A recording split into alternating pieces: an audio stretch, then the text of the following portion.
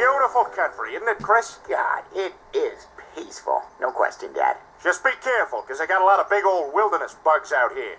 Oh, hey. Y'all best be careful or I'm gonna sting you with my stinger. Oh, no. But then I gonna die if I sting you. You know what? I'm not gonna sting y'all after all.